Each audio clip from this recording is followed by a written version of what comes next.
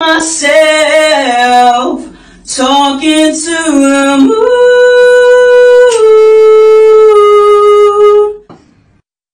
I sit by myself, talking to the moon.